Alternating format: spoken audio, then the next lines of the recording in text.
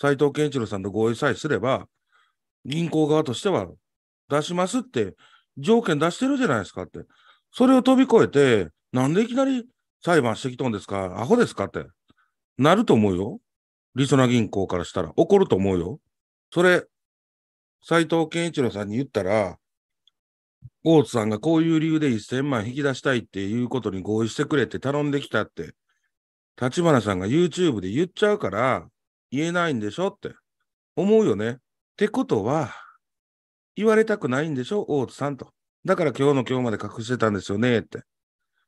何がみんなで作る塔やねん。ど汚い金に。みんなに隠す塔にせえ。こんなんやったら。アホか、ほんまに。人間を舐めすぎとるよね。銀行は、あくまでも、お金を預けてもらって、なんぼじゃないですか。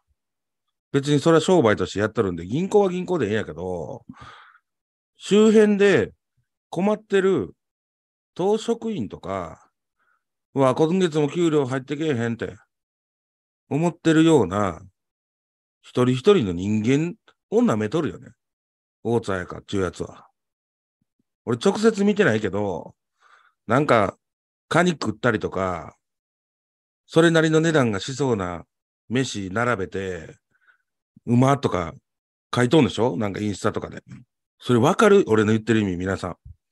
6月の28日の段階で、誰にも何も言わず、りそな銀行に1000万円引き出したいですっていう訴えを起こしました。それを今日の今日まで僕も含めた立花さんも、えー、村岡弁護士も皆さんも知りませんでした。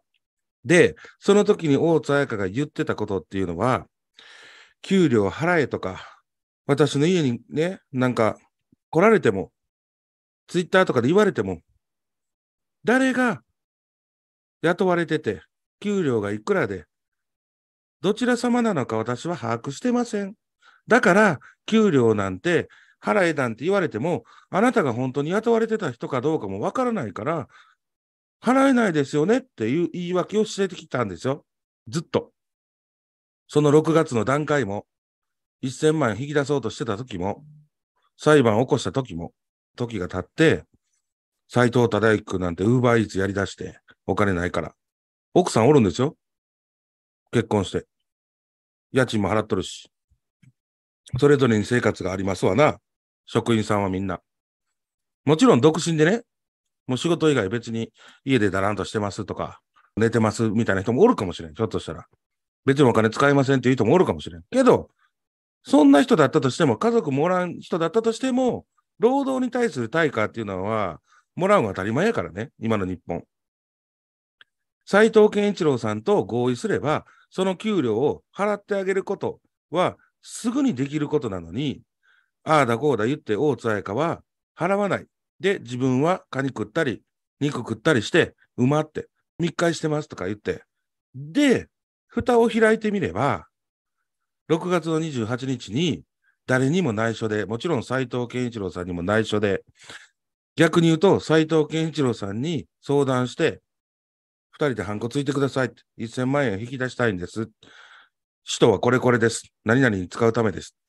って説明さえすれば、それに斉藤健一郎さんが合意さえすれば、その1000万円は、リソナ銀行は、はいどうぞって、数日中に出してくれるお金なのに、それを斉藤健一郎さんにも立花さんにも誰にも言わずに、強制的に裁判を起こして、勝てば無理くり1000万円出せるということで、6月の28日からそういうことを裏でやってたのが大津彩香であると。何が立花隆の不正会計じゃ、ボケ。何がお前、公金中中じゃ。立花隆の一人放送局の、なんか、収入がおかしいとか、言おったよな。大津彩香。お前がおかしいやんけ。お前がやっとることの方がおかしいやんけ。合法的なマネロンとかやってるのは、立花さん自分で言ってるから、これも浸透に一旦寄付っていう形でお金入れて、政党助成金を。で、それを引き出せば、直接的な税金じゃなくなるからって。説明してるじゃん。道徳的に言ったらそら知らんでと。でも合法的なことだから、立花さんは東京地検特捜部の取り調べを受けても、何もかも不起訴になっとるわけでしょ説明してた通り、すべてが合法の範囲内だったっていうことでしょこの結果を真正面から受け止めろよ、大津彩か。お前、6月の28日に、リソナ銀行に1000万くれって、何に使うんや、それ、説明せえってマジで。マジで説明せえよ、それ。しかも、そのお金って、政党助成金やろ。お前何も関係ないやんけ。立花さんが頭使って、擦り切れるまで頭使って、政治と選挙の分離とか、小波党構想とか、トライアンドエラー繰り返して、その都度矢面に立って、叩かれるときは叩かれて、褒められるときは褒められて、地ヘドが出るまで這いずり回って、得た政党助成金やろ。有権者からの。なんでお前が1000万勝手に下ろそうとするんや、ボケ。何の関係もないやんけ、大津やか、貸す。長いことね、立花さんがどういうふうにやってきて、政治団体作って、診療不払い党とか言うんから始まって、NHK から国民を守る党になって、ずっとこう、コツコツやってきて、都知事選とかに出て、アホって言われて、なんかアホみたいなやつおるぞって言われて、ピエロを演じてやってきて、いざ、この参院選勝負やっていうことで、内袖を一生懸命振って、這いずり回ってお金に応じて、払わず逃げたような二兵のアホみたいなやつもおったり、いろんな紆余曲折あってやな、一発目参院選で2%、1議席取ったわけやろ？立花さんが。んで、浜田さんになったわけやん。政治と選挙の分離っていうことで。それから4年が経って、NHK 党も国政政党の要件満たすことできんやろってアンチからも言われながら、そのプレッシャーと日々立花さんも戦いながら、でも国政政党であり続けなければ、政党助成金が入ってこない。政党助成金が入ってこなくなったら、NHK からの被害者、お守りすることができない。NHK から裁判を起こされた方の肩代わりができなくなる。もちろんそれだけじゃないよ。生活保護受給者の人たちを助けるためにも、白物家電用意するためにも、何をするにもお金がいるんですよと。それを寄付とか献金とかじゃなくて、国から税金から引っ張ってくるんが立花隆やと。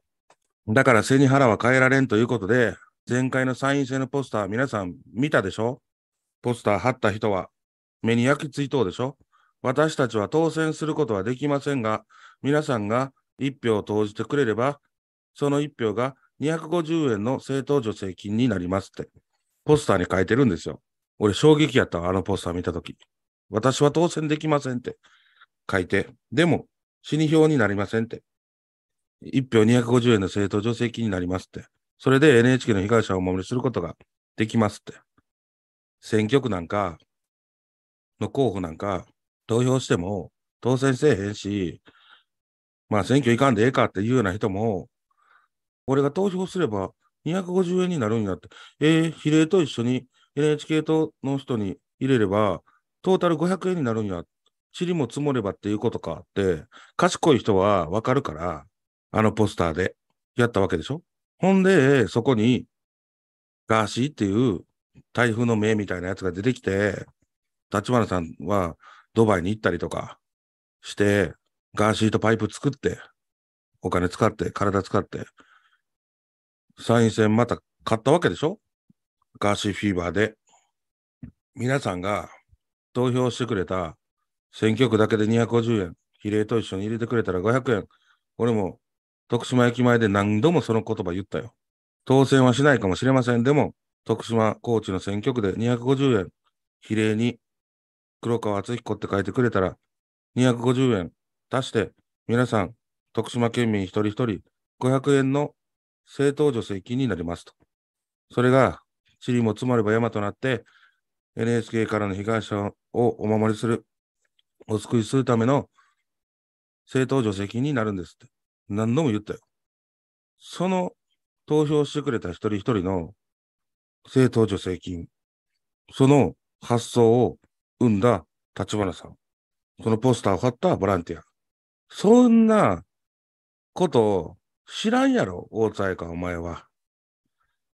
だから、お前の金でもない1000万気軽に引き出すために、りそな銀行を訴えたりとかするわけよ。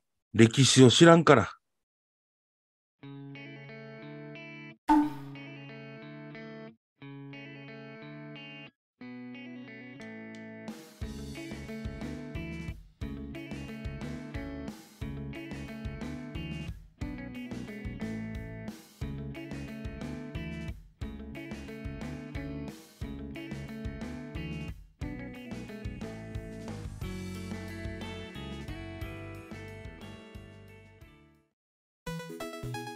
NHK をぶっ壊